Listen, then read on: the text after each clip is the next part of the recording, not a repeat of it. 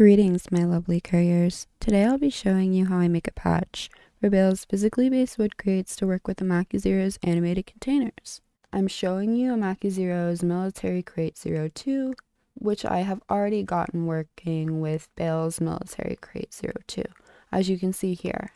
So open up 3ds Max, file import. You're going to import Bale's NIF. Here are my import settings. Pause if you need to. I'm going to apply Bale's texture by dragging it onto the mesh. Now I'm going to clone Bale's NIF.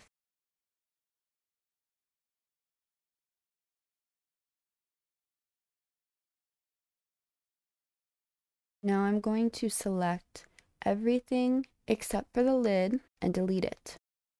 Now that I have a mesh that is just the lid, I'm going to do the same thing for the container. We'll have two branches, one that is the lid and one that is the container. Now I'm going to file export, export the NIF, Here are my export settings. Again, you can pause. You can also read more about what each setting does in the import and export window of 3ds Max on the NIF wiki, which I have linked in the description below. With that exported, I'm going to open it up in NifSkope. As you can see, the lid and the bottom part are separate. This is what we want. I will be setting the shader flags. For this New Vegas mesh, all I want is specular, remappable textures, and Z-buffer test. Doing the same thing for the other branch. Open up Zero's military crate. Here is the animation of the lid lifting up and lowering. Clicking on the container, we notice that it is a NiTriStrip under a NiNode. So I go back to Bale's NIF, I select the container, I copy the branch, I go back to Zero's NIF, I paste the branch inside of the NiNode. So I remove a Zero's branch. The animation is still working. This lid is a NiTriStrip as well. Go back to Bale's NIF. I click on the lid. I copy this branch, go back to a Zero's mesh, paste the branch in the NiNode, and it pastes in. Click on it, transform, edit,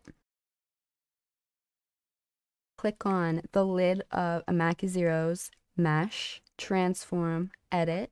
We're going to copy the translation for Z and X to the new branch. Then click accept. Now the new lid is in the same position as the old lid. Check the animation. They're both lifting up. It's working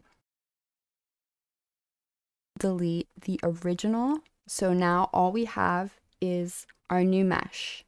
There's some, some clipping, some issues with the inside.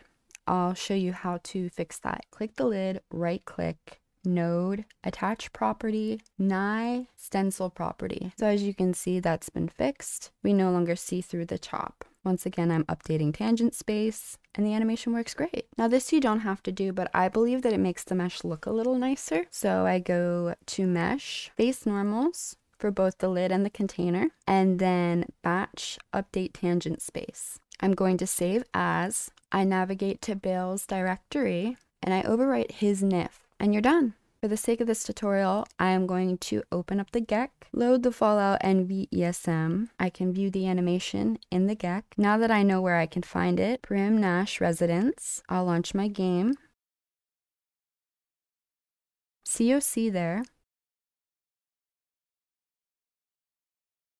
When we open it, the animation works. And just to be clear, it shows me that these boxes are military crate 01, which is the one that we replaced. So it's working. Thank you so much for watching my tutorial. I hope it was helpful and maybe I'll see you out there in the Mojave.